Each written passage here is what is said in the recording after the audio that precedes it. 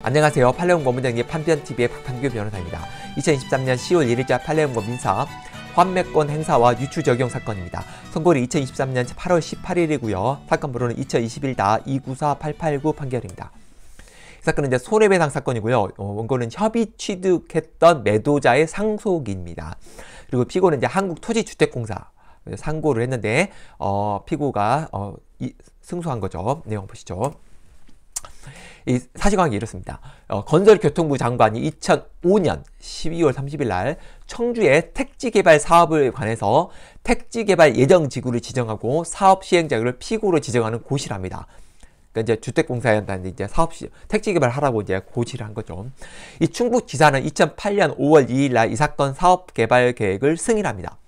이 피고는 2009년 5월 20일에 예, 망인으로부터 이 사건 토지 소유권을 협의 취득합니다. 그러니까 이제 이 어, 사업 계획이 승인이 나니까 2009년에 이제 원고들의 그 아버지 뭐 아, 버지인가 하여튼 뭐 하여튼 망인으로부터 토지 소유권을 협의 취득합니다. 협의 취득한 거는 이제 매매 형태로 이제 토지권 취득하는 거죠. 그래서 피고는 2014년 7월 1일 날 조성공사를 완료하고 완료합니다. 그래서 이제 이미 끝난 줄 알았는데 상속인들이 이 주장을 하는 겁니다. 어떤 주장을 하냐면 공공사업의 경우에 어, 공익사업법에 보면 공공사업을 시행된 그 지정된 다음부터 로 그때부터 토지를 되게 수용을 했을 때 그 수용한 날로부터 이제 협의 그 날로부터 5년 이내에 사업 시행을 하지 않으면 어 매수자의 매도인에게 환매권이 생깁니다. 그래서 환매권이 생겼다는 것을 통지를 해야 됩니다. 통지를 하고 환매를 행사하지 않을 때는 뭐 다른 절차를 진행할 수 있는데 통지 자체를 안 할 경우에는 환매를 통지하지 않음으로써 인한 손해를 배상할 책임이 있게 됩니다. 따라서 이 상속인들은 이렇게 말하는 거죠. 피고가 협의 취득한 날로부터 5년 이내 이 사건 사업 부지 전부를 사업에 이용하지 않았기 때문에 토지보상법에 따라서 환매권이 발생하였음에도 그 통지나 공교를 하지 않았기 때문에 손해가 발생했다 주장하면서 손해배상 청구를 하게 됩니다. 원심은 택지 개발 사업에 있어서 수용된 토지의 경우는 택지 개발 촉진법이 적용되지만 이 택지 개발 촉진법에 협의 취득된 토지에 관한 규정이 없어요. 따라서 이거는 다시 원 일반법에 가까운 토지보상법으로 적용되기 때문에 토지보상법상 5년 내에 이 사건 부지에 대해서 사업을 이용하지 않았으므로 환매권이 발생했다 라고 보고 원고들의 청구를 인용해 준 거죠. 문제는 이렇게 이렇게 택지 그러니까 택지 개발을 위해서 토지 수용하는 방법과 협의 취득할 방법이 있는데 수용된 토지들은 택지 개발 사업법에 의해서 어 5년 이내 사업을 시행하지 않아도 환목이 발생하지 않는다는 그런 규정이 있는데 이 택지 개발을 위해서 취득한 토지가 협의 취득의 경우에는 규정이 없다. 그럼 이 협의 취득의 규정을 수용된 토지의 규정으로 유추 적용을 할 수 있느냐? 이게 문제가 되는 겁니다. 대본은 뭐라고 하냐면 법적 규율이 없는 사안에서 유사한 사안의 법규을 적용하는 것을 유추 적용을 하는데 물리 해석만으로는 현실적인 법적 분쟁을 해석할 수 없거나 사회 정의 관념에 현재에 반하게 되는 걸 유추해서 고려해 볼 수 있다.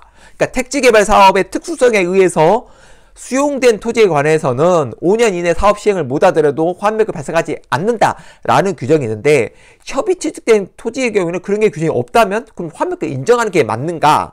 대법원은 그렇게 보면 사회 정의의 정의관념에 반한다고 보는 겁니다. 따라서 법규범의 체계, 입법 의도, 목적 등에 비추어 정당하다고 평가되어 는 이런 경우에는 유추적으로 형용할 수 있다는 겁니다. 즉, 택지개발 촉진법 제13조 제1항은 수용한 토지에 대한 환매권을 규정하고 있지만 협의 취득한 토지에 대한 규정을 두고 있지 않, 않다.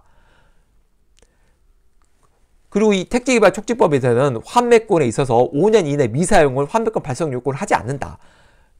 그래서 그렇게 되면 만약 일반법으로 가게 되면 토지보상 5년 내 미상의 환벽이 발생하게 되는 거죠.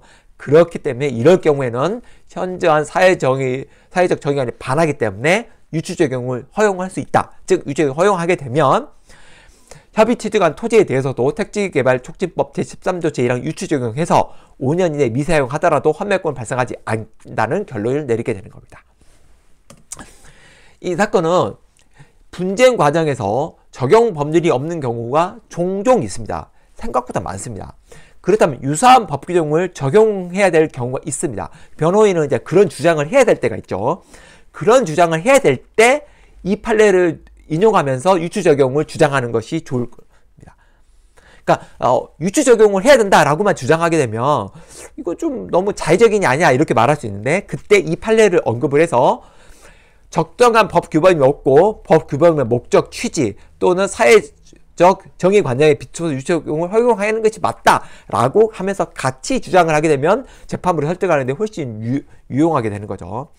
이 사건은 즉 협의 취득이나 수용이나 사업 토지는 예나 환매권은 그 요건이 동일하다고 보는 것이 타당하고 택지 개발에 관련한 특수성을 인정하는 그런 그 수용 토지나 환매권 요건의 특수성을 인정하고 있기 때문에 협의 취득과 토지에서도 인정하는 것이 맞다. 따라서 이 판례의 환매권 유추 적용은 타당한 겁니다. 그러므로 이 판례는 변호사로서 어떤 적용 범위가 없을 때 유추 적용을 해야 될 경우가 있습니다. 그때 이 판례를 언급하면서 유추 적용을 주장하는 경우에 재판부를 설득할 수 있는 게 훨씬 가능성이 높다. 그거 이제 같이 기억해서 이 판례는 이, 어, 기억해 주시는 게 좋을 것 같습니다. 이상 마치겠습니다. 감사합니다.